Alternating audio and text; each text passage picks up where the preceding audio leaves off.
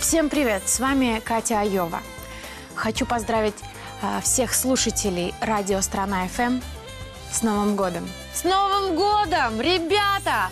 Себетюхнитесь, э, тормошитесь и на новое свершение вы должны в этом году покорить сердце любимого человека, если его нет еще, то обязательно покорить. Э, обязательно стать лучше себя в прошлом году. Полюбите себя, полюбите себя. И вас мир полюбит. И мечтайте, много мечтайте. И делайте все в кайф. И, наконец, бросьте свою работу ради своего любимого хобби.